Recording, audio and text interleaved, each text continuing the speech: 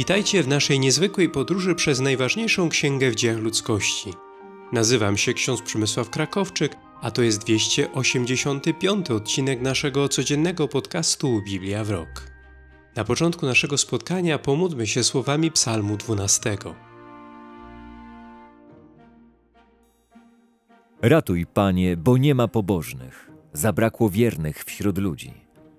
Wszyscy mówią kłamliwie do bliźniego, mówią podstępnymi wargami i z sercem obłudnym. Niech Pan wygubi wszystkie wargi podstępne i język pochopny do zuchwałej mowy.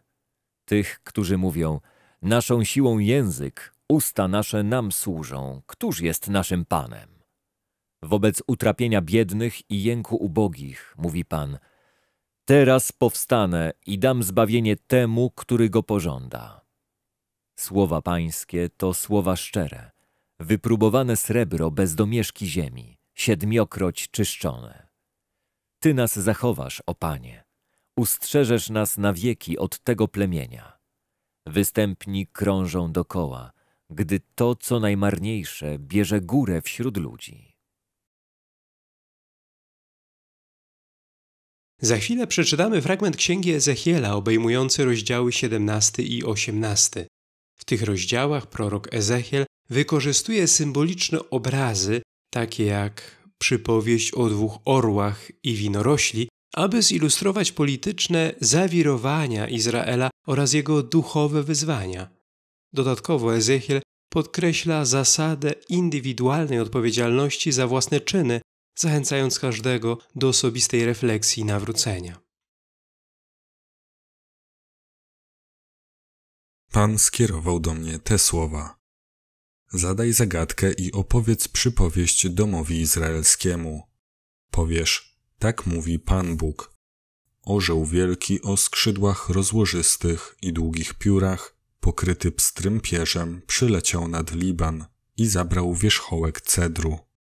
Ułamał koniec jego pędów, zaniósł do kraju kupieckiego i złożył go w mieście handlowym – Następnie wziął szczep z tego kraju i zasadził na roli urodzajnej i umieścił go nad obfitymi wodami i zasadził jak wierzbę, by rósł i stał się bujną winoroślą, choć niskiego wzrostu, którego pędy zwracały się ku niemu, którego korzenie miały być pod nim. I stał się on krzewem winnym, wytworzył gałązki i wypuścił listowie. Ale był inny wielki orzeł, o wielkich skrzydłach i bogatym upierzeniu, a oto ów krzew z ziemi, gdzie był zasadzony, ku niemu zwrócił swe korzenie, ku niemu zwrócił swe gałązki, aby on je nawadniał. A przecież na roli urodzajnej nad ściekiem wód obfitych był zasadzony, gdzie mógł puszczać gałązki i wydawać owoc i stać się wspaniałą winoroślą. Powiesz, tak mówi Pan Bóg, czy to się uda? Czy nie wyrwie on jego korzeni? Czy nie oberwie jego owoców?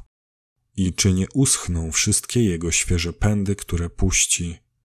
A nie potrzeba mu ani mocnego ramienia, ani licznego ludu, aby go wyrwać z korzeniami. Oto go zasadzono, czy mu się poszczęści, czy nie uschnie, gdy wschodni wiatr powieje, uschnie na roli, na której wypuszczał swe pędy. Pan skierował do mnie te słowa: Mówże do ludu opornego. Czy nie wiecie, co to oznacza?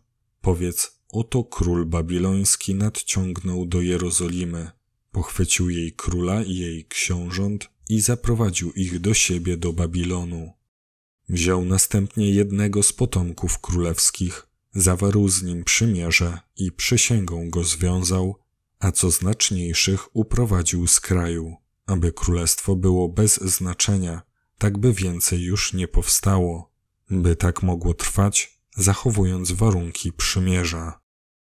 On jednak zbuntował się przeciw niemu, skierował posłów do Egiptu, aby mu dano koni i liczne oddziały.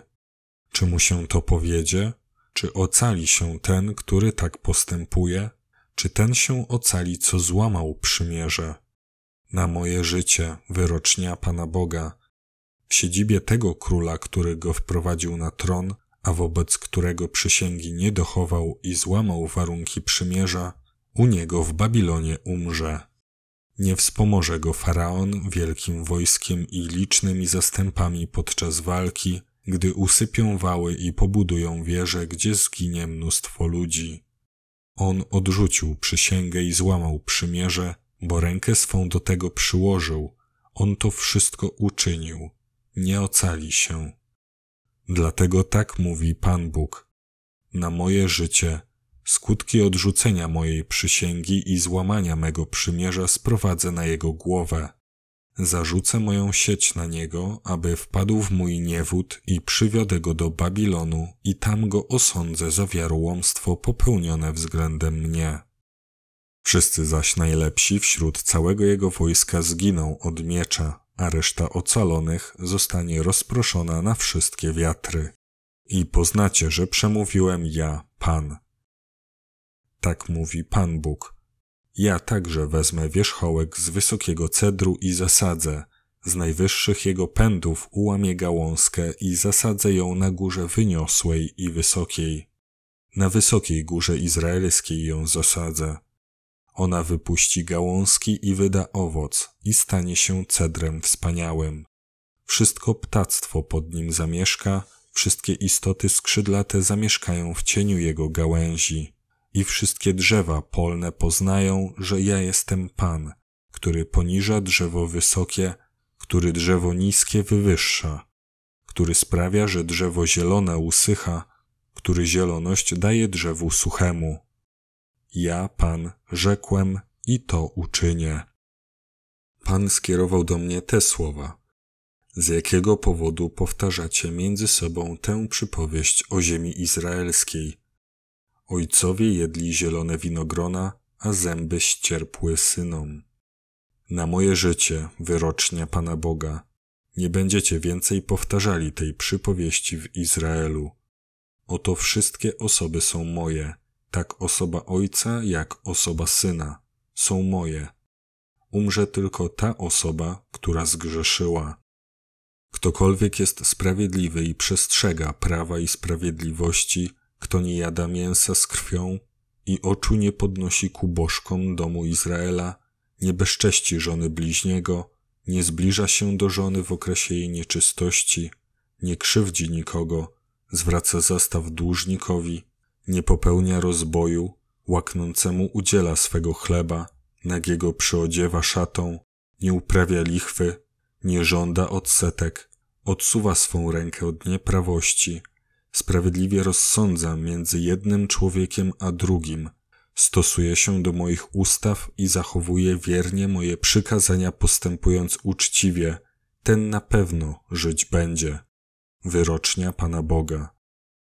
Lecz jeśli by zrodził syna gwałtownika i rozlewającego krew, winnego jednej z tych zbrodni, choć sam żadnej z nich nie popełnił, syna, który jadł mięso z krwią, syna, który bezcześcił żonę swego bliźniego, uciskał biednego i potrzebującego, popełniał rozboje, nie oddawał zastawu, podnosił oczy ku bożkom, dopuszczał się obrzydliwości, uprawiał lichwę i żądał odsetek, ten nie będzie żył, bo popełnił wszystkie te bezeceństwa. Ten na pewno umrze, a odpowiedzialność za krew jego spadnie na niego samego.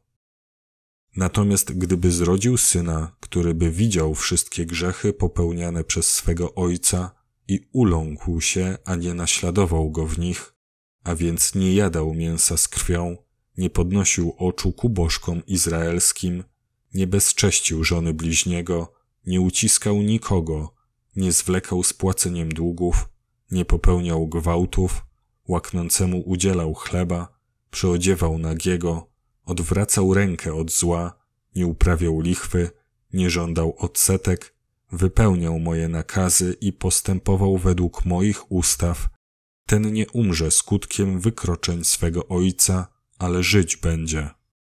A ponieważ ojciec jego był gwałtownikiem, dopuszczał się grabieży i nie postępował dobrze pośród mego ludu, dlatego on sam umrze z powodu swojej nieprawości. Wy zaś mówicie, dlaczego syn odpowiada za winy swego ojca? Ależ syn postępował według prawa i sprawiedliwości, zachowywał wszystkie moje ustawy i postępował według nich, a więc powinien żyć. Umrze tylko ta osoba, która grzeszy. Syn nie ponosi odpowiedzialności za winę swego ojca, ani ojciec za winę swego syna. Sprawiedliwość sprawiedliwego jemu zostanie przypisana, występek zaś występnego na niego spadnie. A jeśli by występny porzucił wszystkie swoje grzechy, które popełniał, a strzegł wszystkich moich ustaw i postępowałby według prawa i sprawiedliwości, żyć będzie, a nie umrze. Nie będą mu poczytane wszystkie grzechy, jakie popełnił, lecz będzie żył dzięki sprawiedliwości, z jaką postępował. Czyż tak bardzo mi zależy na śmierci występnego, wyrocznia Pana Boga, a nie raczej na tym, by się nawrócił i żył?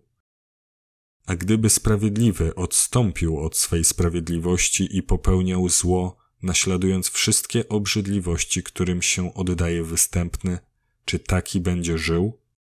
Żaden z wykonanych czynów sprawiedliwych nie będzie mu poczytany, ale umrze z powodu nieprawości, której się dopuszczał i grzechu, który popełnił.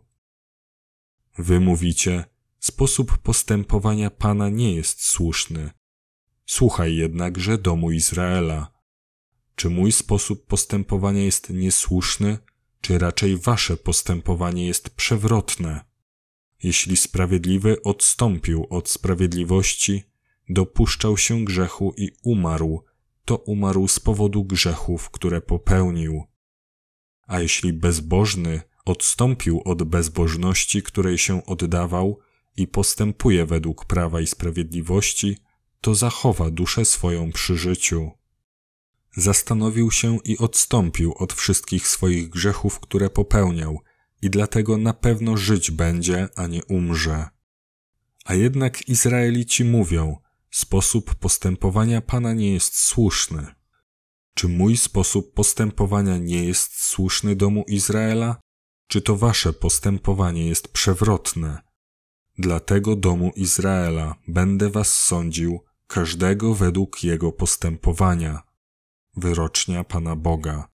Nawróćcie się, odstąpcie od wszystkich waszych grzechów, aby wam już więcej nie były sposobnością do przewiny. Odrzućcie od siebie wszystkie grzechy, któreście popełniali przeciwko mnie i utwórzcie sobie nowe serce i nowego ducha. Dlaczego mielibyście umrzeć, domu Izraela? Ja nie mam żadnego upodobania w śmierci, wyrocznia Pana Boga. Zatem nawróćcie się, a żyć będziecie. Jezus po raz trzeci zapowiada swoją mękę, śmierć i zmartwychwstanie, a uczniowie, wciąż nie rozumiejąc w pełni Jego misji, dyskutują o tym, kto będzie największy. Jezus naucza, że prawdziwa wielkość polega na służbie. Fragment kończy się uzdrowieniem niewidomego Bartymeusza, którego wiara zostaje nagrodzona. Przeczytajmy Ewangelię według świętego Marka, rozdział 10, wersety od 32 do 52. A kiedy byli w drodze, zdążając do Jerozolimy, Jezus wyprzedzał ich, tak że się dziwili. Ci zaś, którzy szli za nim, byli strwożeni. Wziął znowu dwunastu i zaczął mówić im o tym, co miało go spotkać. Oto idziemy do Jerozolimy, a tam Syn Człowieczy zostanie wydany arcykapłanom i uczonym w piśmie. Oni skażą go na śmierć i wydadzą poganom – i będą z niego szydzić. Oplują go, ubiczują i zabiją, a po trzech dniach zmartwychwstanie. Wtedy podeszli do niego synowie Zebedeusza, Jakub i Jan i rzekli: Nauczycielu, pragniemy, żebyś nam uczynił to, o co cię poprosimy. On ich zapytał: Co chcecie, żebym wam uczynił? Rzekli mu: Daj nam, żebyśmy w Twojej chwale siedzieli jeden po prawej, a drugi po lewej Twej stronie. Jezus im odparł: Nie wiecie, o co prosicie. Czy możecie pić kielich, który ja mam pić, albo przyjąć chrzest, którym ja mam być ochrzczony? Odpowiedzieli mu: Możemy. Lecz Jezus rzekł do nich: Kielich, który ja mam pić, wprawdzie pić będziecie, i chrzest, który ja mam przyjąć, wy również przyjmiecie. Nie do mnie jednak należy dać miejsce po mojej stronie prawej lub lewej, ale dostanie się ono tym, dla których zostało przygotowane. Gdy usłyszało to dziesięciu pozostałych, poczęli oburzać się na Jakuba i Jana. A Jezus przywołał ich do siebie i rzekł do nich: Wiecie, że ci, którzy uchodzą za władców narodów, uciskają je, a ich wielcy dają im odczuć swą władzę. Nie tak będzie między wami. Lecz kto by między wami chciał się stać wielkim, niech będzie sługą waszym. A kto by chciał być pierwszym między wami, niech będzie niewolnikiem wszystkich. Bo i Syn Człowieczy nie przyszedł, aby mu służono, lecz żeby służyć i dać swoje życie jako okup za wielu. Tak przyszli do Jericha. Gdy wraz z uczniami i sporym tłumem wychodził z Jericha, niewidomy żebrak, Bartymeusz, syn Tymeusza, siedział przy drodze. A słysząc, że to jest Jezus z Nazaretu, zaczął wołać: Jezusie, synu Dawida, ulituj się nade mną. Wielu nastawało na niego, żeby umilkł. Lecz on jeszcze głośniej wołał: Synu Dawida, ulituj się nade mną. Jezus przystanął i rzekł: Zawołajcie go. I przywołali niewidomego, mówiąc mu: Bądź dobrej myśli, wstań, woła cię. On zrzucił z siebie płaszcz, zerwał się na nogi i przyszedł do Jezusa. A Jezus przemówił do niego: Co chcesz, abym ci uczynił? Powiedział mu niewidomy: Rabbuni, żebym przejrzał. Jezus mu rzekł: Idź, twoja wiara cię uzdrowiła.